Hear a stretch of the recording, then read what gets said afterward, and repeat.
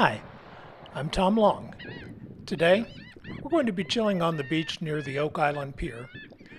I don't usually share my thoughts on the epistle reading, but the reading for the sixth Sunday of Easter happens to not only be one of my favorites, but it's so relevant to what is happening not only in the world, but in the church world. Our reading is from 1 Peter chapter 3 verses 13 through 22, but frankly I'm really zeroing in on just verses 15 and 16.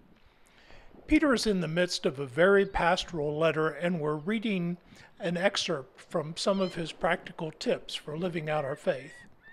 Peter, as we see him in Acts, is very focused on making the world aware of the good news.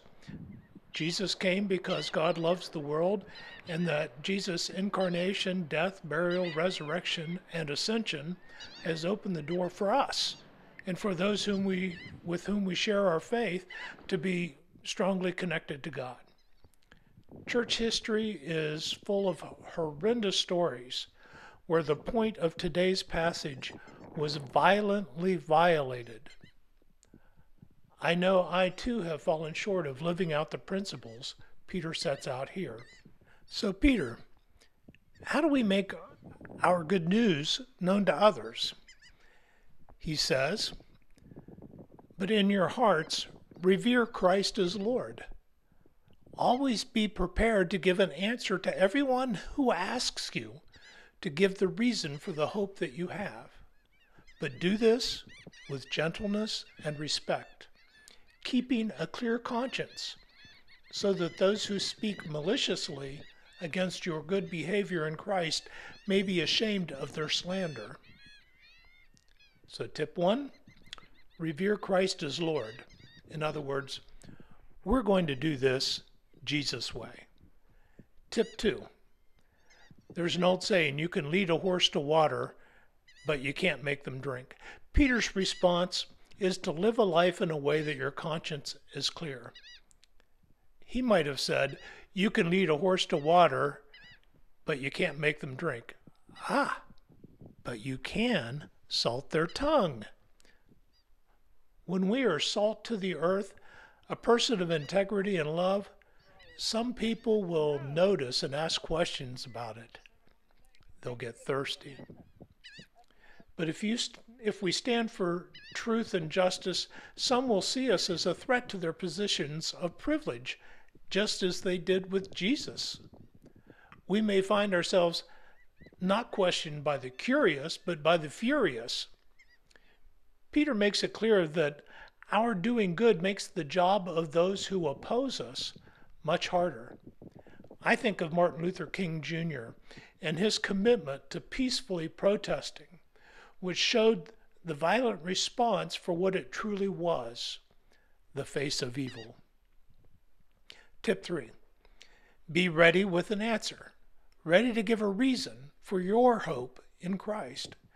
Determine now not later when the question comes up, that you will, no matter the potential blowback, just give an honest and unvarnished account of what it is that you believe.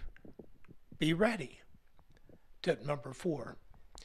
The content of our answer is no more important than the manner in which we relate to those who have a different worldview.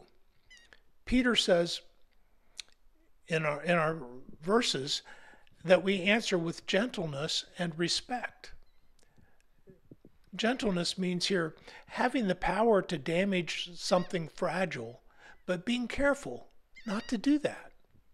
Respect is to honor the value of the other person as someone who is, perhaps unwittingly, a bearer of God's image. Paul gave the young pastor Timothy some similar advice in 2 Timothy chapter 2 verses 23 through 25, the Bible says, "Don't have anything to do with foolish and stupid arguments, because you know they produce quarrels. And the Lord's servant must not be quarrelsome, but must be kind to everyone, able to teach, not resentful.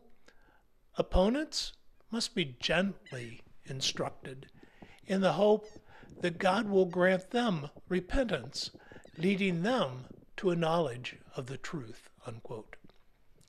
There's no excuse for weaponizing the gospel to win an argument or get one up on someone else. Our faith is not part of a culture war. Our faith isn't meant to be a pie in the face. It is meant to be a pie we share with others who, like us, are hungry to be connected to God and God's followers in their community of love, kindness, gentleness, and respect.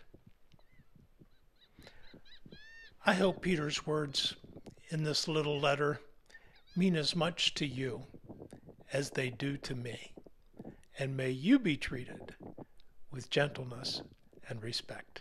God bless.